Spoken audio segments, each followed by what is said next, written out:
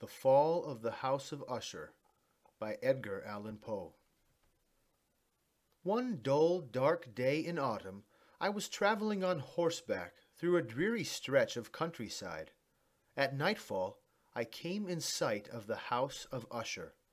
This was the home of Roderick Usher, who had been my childhood friend. It had been many years since he and I had seen each other. I lived at the time in a distant part of the country. However, he had recently written me a long letter telling me of a serious illness and of a mental disturbance that had taken hold of him. He said he had to see me as his best, oldest, and only friend. He hoped that his health would improve with my cheerful company. The only answer I could possibly give was to go at once to his home. Roderick Usher had always been a quiet person who talked little of himself, so I didn't know too much about him. Yet I did know that his family was an old one. Many of his ancestors had been famous for their artistic and musical abilities. Others were known for their exceptional generosity and charity. In the part of the country where he lived, the House of Usher had come to mean both the family and its ancestral mansion. Now, on this dark autumn evening, I was approaching the House of Usher. It was a melancholy looking building, and I looked on it with an icy sinking of the heart. The walls were gray and bleak, covered only by a string like web of moss and other clinging plants. I looked at the vacant, eye like windows, and at the few white bare trunks of decaying trees that still stood in the damp, swampy ground surrounding the old house. As I looked at the house, it seemed to me that it was being wrapped in a strange vaporous cloud. A mystic fog seemed to rise from the decaying trees and nearby swamp until it covered the gray stone walls. Yet the walls stood upright and perfect. Only a few stones were crumbling. A closer look, however, disclosed the tiniest sliver of a crack zigzagging its way down from the roof. The crack went right down to the wall's foundation, ending under the damp, swampy earth. Noticing these things, I went up the short road to the house. A servant met me and took my horse, and I entered an arched hallway. Another servant led me to my friend. We walked silently through many dark and winding passages. I noticed carved ceilings, gloomy tapestries on the walls, and black wooden floors. On a staircase I met the family physician, who introduced himself to me. He hesitated strangely, looking somewhat evil, while at the same time frightened, then continued on his way. At last the servant threw open a door, and I saw my friend resting in a chair. Roderick Usher rose to greet me with great warmth. We were in a huge room. The ceiling was high over my head. The windows, long and narrow and pointed, were so high they could be reached only by ladder. Dark draperies covered the walls. The furniture was antique, but tattered and uninteresting. Many books and musical instruments lay scattered about the room, but they gave it no warmth or feeling of life. I seemed to be breathing an atmosphere of great sorrow. Surely no man had ever changed so greatly in a few years as had Roderick Usher. He had always been thin, with a pale, narrow face and large eyes, but now his face was ghostly, his eyes too bright. His silken hair had grown and had not been trimmed, so it now floated wildly about his face, making it look even thinner. He began to talk about his illness. He said it ran in his family, a nervous ailment with many strange and contradictory symptoms, but no cure. His body was so extremely sensitive that only the softest clothing could touch his skin. Only the blandest food could tempt him, and only the faintest light could glow without injuring his eyes. He could not bear the odor of any flower, and he was filled with horror by all sounds except the gentlest music played by stringed instruments. He was also plagued by strange terrors. I dread the future, he said. I shudder at the thought of any coming event. I feel that I will lose my life and reason together in some uncanny struggle with a grim fantasy. I know that fantasy to be fear. He talked on, telling me also some superstitions about his mansion that filled him with terror. He could not describe them other than to say that the gloomy forms of the walls and turrets and swamps seemed to be affecting his spirit. Yet, for some unexplained reason, he had not been able to bring himself to leave his ancestral home for many years. Then he went on to explain that his gloomy spirit was further burdened by the severe and incurable illness of his beloved sister, Madeline. She was his sole companion and his last and only relative on earth. Her death, he said bitterly, would leave me the last of the ancient family of the Ushers. While he spoke, Madeline entered through one door at the far end of the room and disappeared through another, without even noticing my presence. I stared at her in astonishment and dread, though I knew not why. When I turned back to her brother, I saw his face buried in his hands and passionate tears trickling through his emaciated fingers. Madeline's illness, he informed me, quite puzzled her physicians. She had lost interest in everything. She was wasting away to a shadow, and for long periods of time she would sit or stand quite still, unmoving for hours. Later that evening, my friend sadly informed me that Madeline had been bedridden with exhaustion and with the deterioration and emaciation caused by her disease. Therefore, the glimpse I had gotten of her would probably be the last I would get, at least while she was living. After telling me these things, Roderick Usher talked no more of his sister. In the next few days, I tried earnestly to cheer my friend. We read together, or I listened to his wild strumming on the guitar, his fingers causing it to speak in an unearthly voice. Usher had also inherited the artistic talents of his ancestors. I watched as he painted. He worked feverishly, painting several canvases in succession.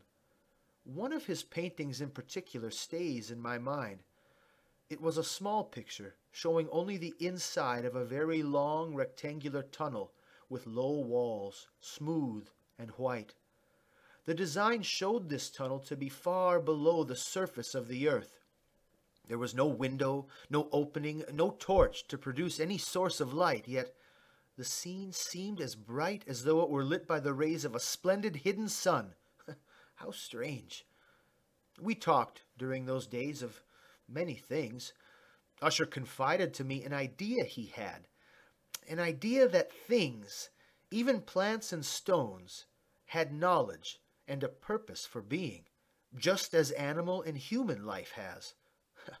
I was sure these ideas were proof of his disordered mind, until I heard his next statement. The proof, dear friend, the proof of what I have said is this. You have seen the swamp that surrounds the walls? There is a cloud, an atmosphere rising from this swamp, swirling about the house. It, it enfolds the walls, pressing in upon them. I looked up with a start, for this was the very thought that had overcome me when I approached the old mansion. Roderick continued, This, this atmosphere rises from the swamp to press on me. Thus it, influences, shapes, and molds me and my life just as it has molded the destinies of my family through the ages. I heard these words with a shudder, and I was glad when my friend got off this subject and turned again to his books. So the days passed, One evening my friend informed me that his sister Madeline was no more. Oh, my dear friend, I, I am terribly sorry to hear this, I began. But he interrupted my condolences as though he had not heard. I, I intend, he said, to preserve her body for two weeks before burial. The physicians have been too curious about her strange illness, and they might wish to make further examinations. I, I fear they might get to her body if we put her into her grave now, but if we wait a while, they will not know when or, or where we will bury her. And where do you plan to do that, my friend? I asked. Well, the family burial grounds are, are quite far away, but there are compartments within the thick stone walls of this house. Uh, his voice trailed off, and he was lost in thought. Huh.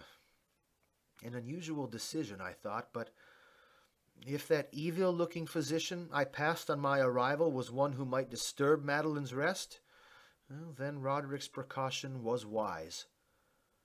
When Madeline's body had been placed in a coffin, Usher and I alone carried it to its temporary tomb. This was a vault or compartment in the foundation walls of the mansion. It was small, damp, and without any light. It was directly under the room in which I was staying. In ancient times, it had served as a dungeon. Centuries later, it was used to store gunpowder. In the walls, floor, and even the heavy iron door were covered with sheets of copper to keep out the dampness. I noticed particularly the sharp, grating sound made by this door as it moved slowly upon its hinges. We placed our mournful burden upon wooden stands inside this vault. The coffin lid was not yet fastened, and we opened it to look once more on the face of Madeline Usher.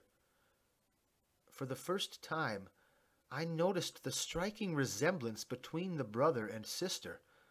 My friend, perhaps guessing my thoughts, murmured something about their having been twins. He said that strange understandings had always existed between them, secret understandings, unknown to anyone else. But we couldn't bear to look upon her for long. Her illness had left a faint redness on her face and a suspiciously lingering smile on her lips, a smile which is terrible in death. We replaced the coffin lid and screwed it down. Then we left the vault, fastening the iron door behind us, and went upstairs into the upper portion of the house. This was almost as gloomy as the vault we had just left. As the days passed, a change came over my grieving friend. No more did he play his guitar, paint, or even read. Instead, he roamed constantly from room to room, with hurried but purposeless steps. His face became, if possible, even more pale and ghastly. His once bright eyes became dull. He spoke with a nervous tremor which seemed to come from some unknown terror. There were times I thought he struggled for the courage to confide to me a terrible secret. Then the moment would pass. At other times I became convinced it was his madness, for he stared into space for hours. He seemed to be listening to some imaginary sound. His condition terrified me, and, and then it infected me. I felt myself coming under the spell of the nameless terrors and the superstitions that so profoundly affected him. This feeling it grew upon me gradually. It reached its full power about a week after we had placed the Lady Madeline in the dungeon. It was a stormy night, I could not sleep. I, I lay awake in the dark as the dark hours passed. I, I tried to use my reason to get rid of the nervousness that came over me. I tried to tell myself that the gloomy furniture of my room and, and the dark draperies, they must be the cause of the oppressive feeling that lay upon me. But the terror would not leave me. Instead, it seemed to settle on me more heavily. I tried again to rid myself of its weight. I sat up in bed and listened to the sounds of the night. Through the storm I heard strange, low, faint sounds. Then they ceased. only to begin again after a few minutes. I was overcome by a strong sense of horror. I knew I would sleep no more that night, so I rose and hastily dressed. I tried now to get rid of the dread feelings by pacing the floor. I had taken only a few turns in this manner when I heard a step in the corridor. In an instant, Usher was rapping at my door. He stared about the room silently for some minutes. Then he spoke. You have not seen it? he asked. You have not, but you shall. With that, he hurried to a window and opened it to the storm. A furious gust of wind entered and nearly lifted us from our feet. It was a tempestuous yet strangely beautiful night. Clouds hung thickly about the turreted roof of the house. The wind blew in violent gusts, pausing now and again. The clouds were tossed about, coming together, and then being blown apart before our eyes. The lower surfaces of the moving clouds and the tree trunks all about the house were bathed in an eerie glow. Yet no moon shone, no stars twinkled, no lightning flashed. What then was this strange, unnatural light that seemed to be circling about the old mansion? You, you must not, you must not watch this, I said with a shudder to Usher. I led him firmly away from the window to a chair. These wild visions, they, they are simply electrical phenomena from the storm, or, or perhaps they rise from the swamp. I'll close the window. the air is too chilly, too damp for you. I did so, and he did not protest. Now, I said, picking up the nearest book, I will read to you, and, and so we'll pass this stormy night. The story was an old adventure tale. The hero, Ethelred, set out to do battle with an evil hermit. I read, Arriving at the hermit's door, Ethelred lifted his sword and struck several blows in the wooden planks, cracking and ripping them apart. As I finished that sentence, my breath suddenly caught in my throat. I paused. It seemed to me, or was it my imagination, that from some remote part of the house came an exact sound like the one I had just described a cracking and ripping of wood. Probably the storm, I thought, and returned to the, to the story. Inside the house there was no sign of the hermit. Instead, Ethelred saw before him a scaly dragon with a tongue of fire. The dragon was sitting guard before a palace of gold, with a floor made of silver. And Ethelred uplifted his sword and struck off the head of the dragon. As it fell, the beast gave forth a horrible and piercing shriek. At these words, there came to my ears a low and distant cry. It was a screaming or grating sound, very like the dragon's shriek of which I had just read. But this cry was not my imagination. I did hear it. The nameless terror I had felt in my sleepless bed earlier in the evening came over me again. But I was concerned for the nervous state of my friend, and I tried not to excite him. Perhaps he had not heard the distance cry. Perhaps I had imagined it. But a strange change had come over him. We had been sitting facing each other but now he turned his chair away from me and faced it toward the door. His lips were trembling. His head was dropped on his chest, and his eyes were open wide. In this position, he began swaying from side to side. To take his attention away from whatever he might have heard, I began hastily to read again. And now Ethelred pulled the dragon's body out of the way. Bravely he approached the castle, walking on the silver pavement. Over the castle doorway hung an enchanted shield of brass, the prize for anyone brave enough to kill the dragon. As Ethelred approached, the shield fell down at his feet upon the silver floor, with a mighty, great, and terrible ringing sound.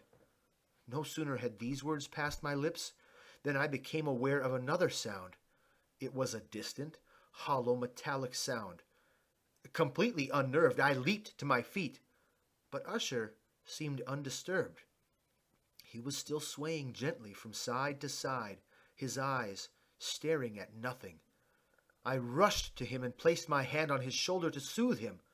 A shudder came over his entire body, and he began to speak in a low, hurried murmur, unaware that I was even there. Not hear it? Yes, I hear it, and have heard it, he said through quivering lips. Long, long, long, many minutes, many hours, many days have I heard it, yet I dared not. Oh, pity me, miserable wretch that I am! I dared not speak. We have put her living in the tomb. I told you how sensitive I have become in my illness. Many days ago, I heard her first feeble movements in the coffin, yet I dared not speak.